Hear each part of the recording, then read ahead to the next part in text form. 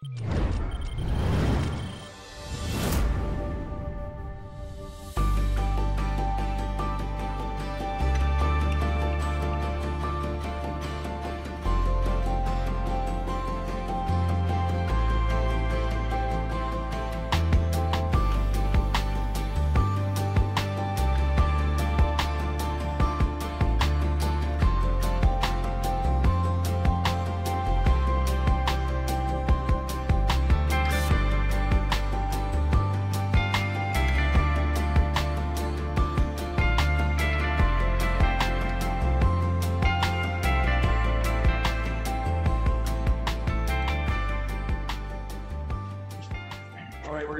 we're we're gonna pivot hard here. So from, uh, from basic science to medical missions. So uh, I don't want to take up too much time, Jeff, uh, talking about medical missions, causing harm or doing good.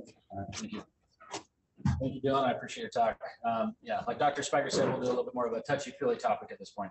Um, so for those of you who don't know me, I'm Jeff Frandsen. I'm one of the fifth-year residents. And today I'm going to talk a little bit about my recent experience in El Salvador with Operation Walk. Uh, to start, I'd just like to thank a number of people who are uh, integral in helping me fund, organize, execute, and analyze this experience. So this is my outline for this morning. Um, I'd first like to explain a little bit about what Operation Walk is for those of you who don't know, um, describe a little bit about my experience in El Salvador, um, and then discuss a little bit about how we can avoid unintentional harm through our short-term surgical missions. And then at the end, I'd like to critically grade Operation Walk using the principles we learned. Um, so Operation Walk. Um, this uh, medical mission was founded by Dr. Larry Dorr in 1994. It's a private, nonprofit, volunteer medical service organization. Uh, the mission of Operation Walk is to provide free surgical treatment for patients around the world in developing countries, as well as in the United States.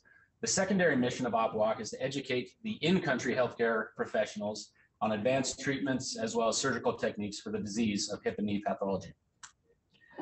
Um, the objective of Operation Walk on each individual mission is to accomplish somewhere between 50 and 60 uh, joint replacements, as well as to provide education and training to those surgeons that are in country, as well as the surrounding medical professionals.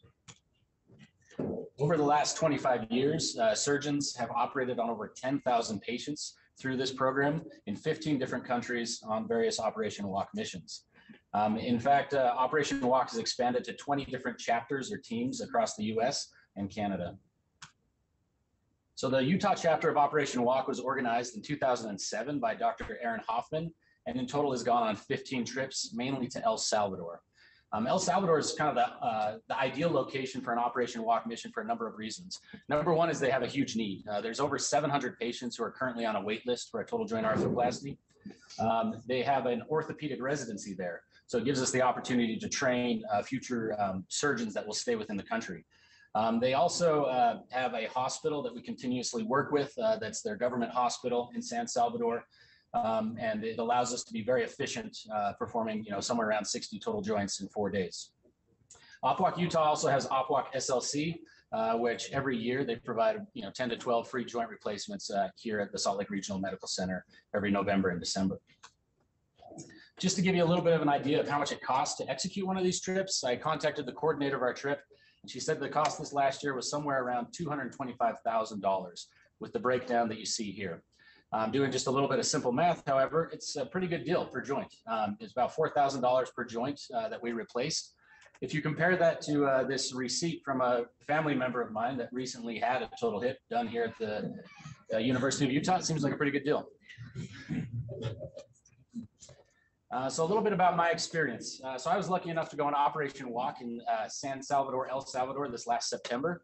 Um, pictured here is Dr. Aaron Hofmann in the middle, as well as Kevin Purcell, who's a joints fellow at Duke and my roommate for the trip. We spent our time at the Hospital Nacional San Rafael. Um, so to give you a little bit of background on El Salvador, like I mentioned, San Salvador is the capital city. Um, it's a small country nestled between Guatemala and Honduras in Central America. Um, population's around 7 million people. Interestingly enough, in the early 2000s, they switched their official currency to the US dollar. Um, to give you a little bit of idea of kind of uh, the level of income of the country, their annual GDP is about 58 billion compared to about 21 trillion in the United States, uh, mainly with service, industrial, and agriculture. Uh, their major export continues to be coffee. Um, but if you know much about El Salvador, you probably know a lot about their crime. Um, so they have very big uh, kind of crime syndicates, you could say, the MS-13 and the Barrio 18. And in fact, in 2012, El Salvador had the highest murder rate in the world. Um, even earlier this year, there was a kind of three days of gang violence that left 87 people dead. And so afterwards, President Bukele, who's their current president, he really cracked down on crime. And so he declared a state of emergency um, and got the police and army to start initiating mass arrests. And so since uh, March of this year, a little over 25,000 members of these gangs have been arrested, and he's really kind of cleaning up the streets of El Salvador. But in short, I think uh, if you take anything away from this slide is that if any country needs charity, I think El Salvador definitely qualifies. So in total this year, our group had 49 volunteers, mainly from Utah, Oklahoma, Texas, and Florida. Um, we had 17 MDs, uh, 15 surgeons and surgeons in training, an anesthesiologist, uh, one internist, three CRNAs, three PAs, 11 nurses, and 15 other uh, various volunteers. Um, at this point, Operation Walk is a well-oiled machine. Uh, nearly a quarter of the volunteers fly down two to three days early down to San Salvador. They assess our inventory, they re-sterilize equipment, and then they organize all the required surgical sets. Um, this storage shed that you can see here was built by Operation Walk on the hospital grounds in 2018 and holds everything required to fully supply a surgical mission.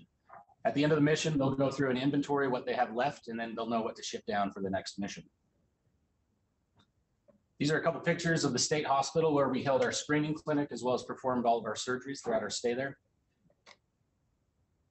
Um, so as we walked into the hospital our first morning, uh, all of our potential patients were kind of crammed into this big waiting room area. And it was a, it was kind of a neat opportunity to, to come in and, and see kind of, I guess, the first part of their gratitude that they kept throughout their entire stay there. Um, it was interesting as we walked in, they, they would clap and cheer as we walked in and it was, um, it was a neat experience, but kind of a, an experience that gave me some mixed feelings. Um, you know, at first I was kind of proud and like, yeah, like, you know, I'm here to help you. But then I had like a little bit of a kind of a twinge of guilt. Uh, you know, maybe this medical mission was about us and inflating our own egos. You know, and why were people clapping for us when we were just providing a service that is kind of routine and normal here in the United States? But regardless, uh, we spent our first morning in the hospital doing a screening clinic. Uh, the orthopedic residents there um, had set up a list of 67 patients for us to do final screening on.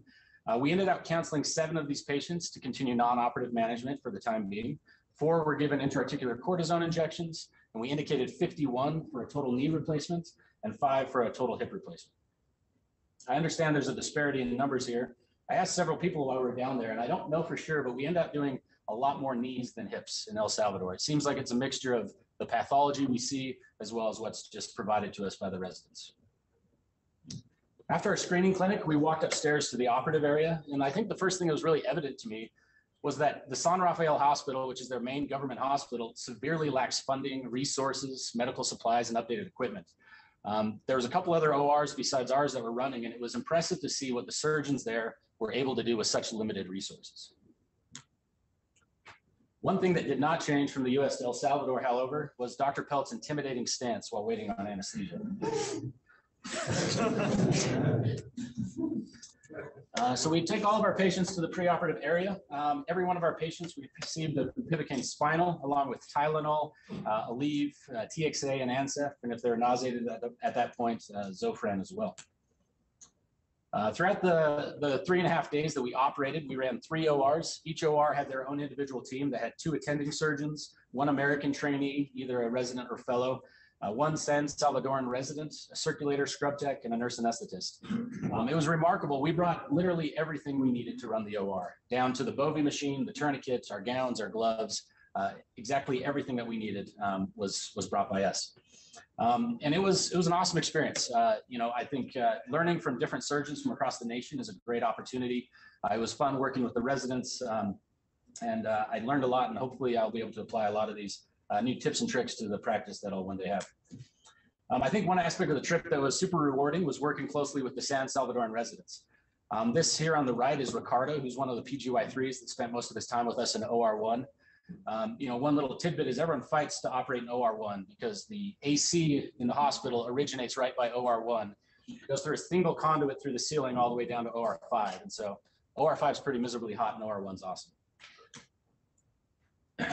And so uh, one thing that was also stark to me is the cases we performed, they weren't little chip shot cases, little simple varus knees or just a little bit of arthritis of the hip.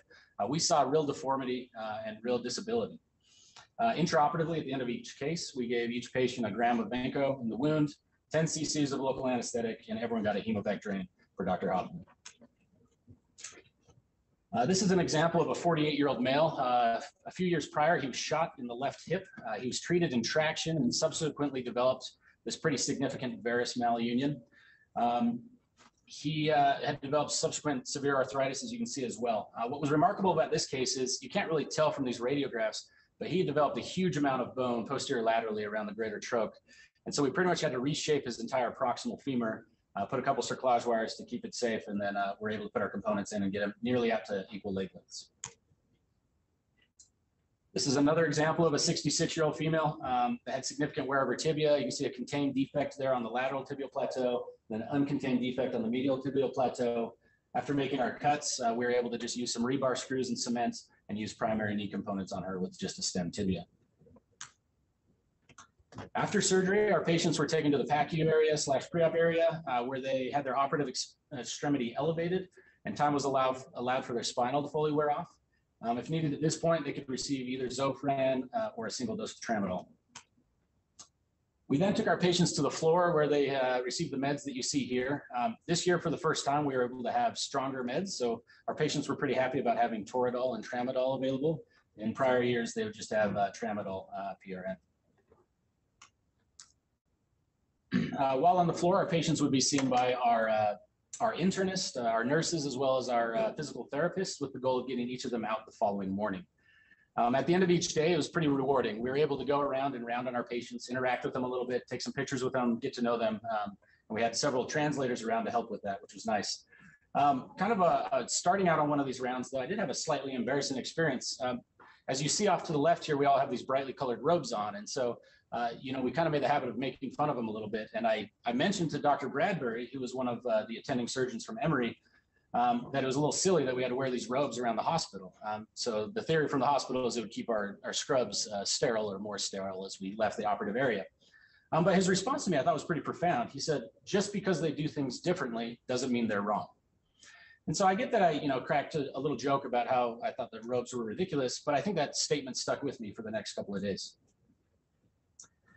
Um, and so uh, at the end of our surgery days, we also took some time to have a little bit of fun. Uh, we went around and ate at a couple different restaurants. Um, Dr. Pelt even figured out how to stream the football game uh, from his phone to his laptop to the bar TV so that we could watch the game. Um, and I would say, all in all, I think uh, my experience was excellent. Uh, I think Operation Walk, like I mentioned, is a well-oiled machine.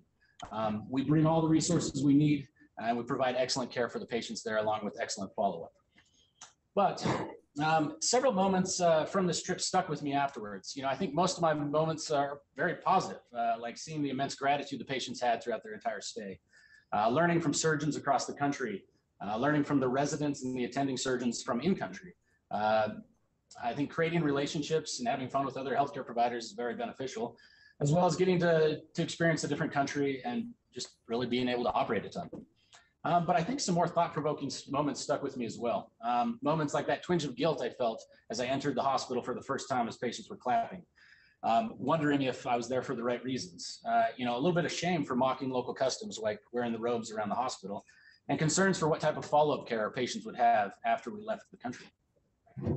So after digging through several articles on short-term surgical missions, I found this article by Welling et al. that's uh, cited pretty much in every article since this was published in 2010 uh, that describes the seven sins of humanitarian medicine. Um, so in order to create a good surgical mission, uh, mission, I think first we need to think of ways in which we can fail or cause harm to our patients. And so I like this concept a bunch, and I think it's the, the way I'll kind of uh, discuss uh, the remainder of my talk. So sin number one, leaving a mess behind. So I like this quote here. One good rule is to offer the types of procedures that are minimally invasive, relieve immediate discomfort, and require little follow-up care, especially for missions that are short-term. And so as one who's pursuing a career in total joint arthroplasty, I think that uh, our procedures are fairly straightforward with excellent outcomes overall. However, complications can occur. And so we'll discuss a little bit about those complications and follow up in sin number four. Uh, sin number two, failing to match technology to local needs and abilities. This individual uh, here is uh, Christian Dupuy, uh, who's a Belgian plastic surgeon, and he volunteered uh, throughout his career to go to Southeast Asia uh, for several months each year. Um, and this is a, a quote that he came up with where it says, I have seen professors from fancy American universities teaching endoscopy skills in Laos to internists who don't have as- access to an endoscope. And so if the center that we're going to with a medical mission doesn't have the technology or the ability um, or the resources to do the procedures we're doing, why would we go to that center? Sin number three, uh, the failing of non-government organizations to cooperate and help each other and to cooperate and accept help from military organizations. Uh, I think this sin doesn't apply to this trip as, as well, um, but uh, in terms of cooperation with uh, in-country um, organizations, I think uh, a good example during our trip was uh, as we were coming to El Salvador, one of our reps came through uh, customs with two large suitcases, and in those were the majority of our implants that we needed for the for the entire trip. And it got held up in customs, and they they seized them and said that we needed someone in country to vouch for us, or else they couldn't come through because they couldn't quite understand what all this expensive metal was. Um, and so luckily, uh, Operation Walk has a really good working relationship with the hospital, uh, San Rafael there, and the medical director personally came to the airport with our team and they immediately released our, um, our implants and we were able to bring them to the hospital. Um, sin number four, failing to have a follow-up plan. Uh, I liked this quote here, so I'll read it. Surely we should never have one-time only missions. We should have an ongoing regular visit schedule. We should see our patients again and again. We should know and have ongoing dialogue with our medical colleagues in these countries. It is much better to pick one country and continue to serve it well than to hopscotch all over the world, going everywhere and truly getting nowhere. So in short, go back to the same place. That's where we'll have the best outcomes, the best follow-up, and the best ability to continue to train in-country orthopedic surgeons. This is a good article by Torch et al. and JBJS in 2016, where they developed a kind of a pilot follow-up study where they involved 104 orthopedic uh, patients um, in Peru, I believe. Uh, and what they did um, is they created this data collection matrix where they had a standardized form that the in-country provider would fill out at certain time intervals uh, specific photos that they wanted taken and specific radiographs that were taken at the same time. These were all sent electronically to the surgeons from the short-term surgical mission trip, and they were able to discuss the patients together uh, in kind of a more informed way. As you see to the right, uh, no one really does anything unless you incentivize them. And so they figured out a way to incentivize the uh, in-country um, providers to continue follow-up with higher pay uh, with longer follow-up. And via this program, they found that they had 82% follow-up uh, in a developing country, um, and they had kind of the outcomes that you can see below that. And the mean cost of developing this program was only $20,000 per year, uh, with 30% of that going towards the monthly salary for the in-country providers, 45% of that being the incentive-based pay, and 25% for patient travel and expenses. So this is a good example of, I think, you can develop some form of follow-up if you don't have the benefit like OpWalk has with uh, an orthopedic residency. They're ready to follow up uh, on your patients. On to sin number five, allowing politics, training, or other distracting goals to trump service while representing the mission as a service. I think this sin kind of applies to larger medical missions uh, rather than short kind of surgical missions, especially those being carried out by like military, where the humanitarian efforts could be a guise for you know a military ship to be in a country or uh, some sort of political reason. Um, but I think you know uh, the point here is that the primary focus of every short-term surgical mission should always be the patient. So I personally uh, took a photo of the face sheet of every patient I helped take care of uh, so I could remember them personally and remind myself of the primary reason why I was there. I understand I'm breaking a little bit of patient confidentiality, but I highly doubt you'll meet these people. Um, sin number six, uh, going where we are not wanted or needed and or being poor guests. And so like I previously mentioned, I think El Salvador is a, an opportune location just due to the overwhelming need for a uh, total joint arthroplasty. With a waitlist of over 700 people, they do have three uh, main local orthopedic surgeons at that hospital who perform arthroplasty as well as the residency, um, but the, the need is overwhelming. And so OpWalk just really supercharges their pace for a few days every year. And I think it, it does a great service there. We do, however, need to be careful with uh, certain things, uh, such as local customs. Uh, the way that we speak, act, what we eat and drink is the way we're perceived by our hosts. Um, also understanding that just because we're from America doesn't mean we know better there's a lot that you can learn from in-country orthopedic surgeons, especially in a resource poor environment. Uh, how to kind of call an audible intraoperatively and how to take care of a deformity that you don't really have all the fancy uh, balancing equipment or um, anything else that you need. All right, then on to sin number seven, doing the right thing for the wrong reason. Um, so I think there are several alternative motives that one would want to go on a medical mission. Uh, I've listed a few here. So, you know, the desire to go on a cool trip, uh, bragging rights for having done a first procedure in a different area, uh, the desire just to perform a large number of complex cases quickly without needing informed consent, proper monitoring, don't have to worry about follow-up clinic. Um, and then, you know, a way to somehow get an advantage in academia, whether it's put something fancy on your CV or whether it's networking. And I think admittedly, I was able to network, I was able to learn from multiple surgeons, and I, I did receive a lot from this mission. But I think on top of it, uh, always having in your mind as you're at these missions that, you know, number one is the patients and improving their function and mobility. So I want to go on to an op walk report card where I try my best to harshly grade Operation Walk. All right, so sin number one, leaving a mess behind. So I think total joint arthroplasties, like I mentioned, are excellent surgeries. In general, we have excellent outcomes, but when we have a complication, they can be quite devastating. Also, when you go into a country and you perform 56 total joints in just four days, that can be pretty overwhelming to uh, the local system. And so uh, for that reason, I'll give us a B plus here. Uh, sin number two, failing to match technology to local needs and abilities. Um, total joint arthroplasties are being performed every day at the um, in San Salvador at the San Rafael Hospital, and uh, we just kind of supercharge their pace. So we'll give us an A here.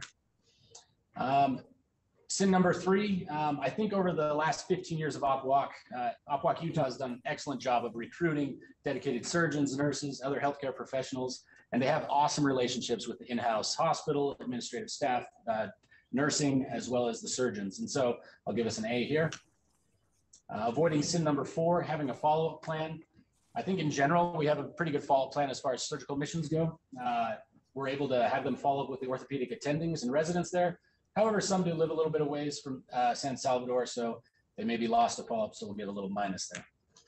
Um, I think sins five and seven are similar. Um, and I think probably maybe the biggest issue I heard personally while on OpWalk. I think the majority of the people there were there for the right reason to, to help the patient. But I do think that there were some uh, that were there to kind of collect stories or take pictures or uh, kind of just have the experience. But that being said, I do thank them for the amount of photos they took. Uh, they were very helpful in making this presentation. Um, and finally, avoiding sin number six. Uh, so El Salvador definitely has a need for us. Um, and there's uh, just a massive amount of patients still on that wait list. And uh, in my interaction with the orthopedic staff, the residents, as well as the nursing staff, uh, they were very grateful for us. So I'll give us an A here.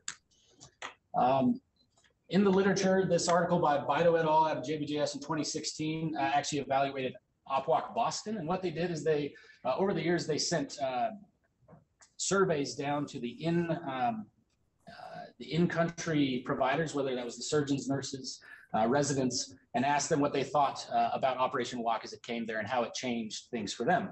And so uh, the kind of overwhelming consensus of these surveys was that the technical and knowledge transfer led to sustainable changes uh, at this hospital. Uh, additionally, they noticed that there was an evolution in the nursing culture as the as our nurses came down and showed them their independence and their ability to make decisions. They also emulated that and felt like they had a, a bigger say on the floor. Um, they did note that there were some barriers. Admittedly, I'm not bilingual in any useful language. Romanian doesn't help too much. Um, but uh, language can be a, a, barrier wherever we go, as well as just the organizational hierarchy, um, not having the ability to interact with everyone that you would like to. Um, and then also, I think starkly, the U.S. participants noticed it, uh, noticed that their practices at home changed as well, as they were able to learn from those in that resource poor environment. So all in all, I thought Operation Walk was awesome. I think it is a great short-term surgical mission. Um, it provides excellent surgical care and follow-up. Uh, it's absolutely self-sustainable. So even though doing multiple surgeries can cause a strain on the environment, we brought a multidisciplinary team that took care of the patients from the time they entered the hospital to the time they left the hospital. Uh, we brought all the supplies that we needed, all the implants that we needed, and uh, we were able to educate the local orthopedic residents as well as have clear coordination with the local hospital. So these are my references, and I'd like to invite any questions or comments at this time.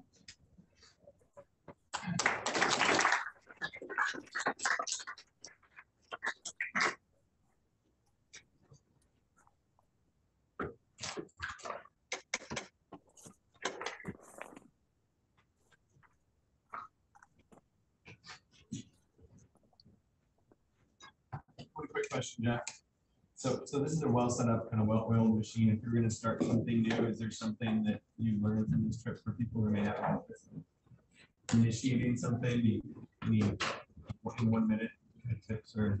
Yeah, I think the, the biggest thing is first to protect And so that's how I think Operation Walk has become so successful is almost every new chapter starts with someone who has been on Operation Walk a few times and started to understand what that is. And so I think uh, the biggest keys from my standpoint are finding a place where there's a need, which I think can be difficult. Um, but as you get more involved in this world, I think it becomes evident uh, uh, through communication where there is a need. I think having a, a stable location uh, is is key. And then I think uh, you know one point I didn't touch on that I meant to was uh, a success of a surgical mission uh, is usually based on its ability to provide everything you need in kind of one chunk, just like OpWalk does. And so if you have a desire to do a medical mission, you know, finding others with the same desire and creating a team large enough to successfully do so. If you take three providers down to a random area of the world, it's very difficult to have something sustainable and something worthwhile. And so I'd say step number one, learn how to do it well. Step number two, gather people around you who are uh, interested in the same thing, and then find a, a location that can be stable and sustainable. Yeah, thank you for. Yeah, I just want to make one comment. This is controversial. This is, it can be thought as medical tourism, uh, or it can be thought as the greatest need. It cannot possibly have that. And, um, when you go with a team and you're all pumped up, uh, and everybody's got all materials, it's, it's it cannot be anything but exciting and fun. If, if you say, could you use the same amount of money and resources to do good in another way? The answer is sure. You could, you train these guys, just send them the implants, let them do it. Really train. Um, would save a lot of money, right? So I think that as you think about this business of you know, being humanitarian, which is a crazy term because you're not, everything you do today, when you leave this room is humanitarian. Okay, so the economy that this is humanitarian and what we do today, is false, right? And everything you do as a doctor is humanitarian and the, the concept that you're going to give something somewhere else, but you don't give here, is is morally um, challenging. I think, and you, you apparently were challenged by that because you came back and thought about it. And I, I give you full credit for thinking about like really what, what was that? It was fun. You you made some friends, you had you learned some, got some tips and tricks and all that. But um, I think as as everyone here has the opportunity to do this, you should think about how does this how does this really fit into the evolution of the world and the practice, their view. Um, what are they really doing? You know, and they, as you'll see, everybody does say it's better to teach a man to fish than to be a human fish, right? And so part of it is always a bit of education, but when you look at the sustainability of that education, um, it becomes a little thin and questionable at least that's, and I, I went into, uh, I went into Africa a couple times and I sort of went away from it thinking, you know, am I really doing any good? And that's kind of, maybe that's selfish on my part. And every, there's many people here are more than me, but, um, uh, I think it's uh, morally challenging. Definitely. Thank you. Perhaps I'm glad you're too easy a grader too. Don't it among staff. Thank you for your talk. Thank you.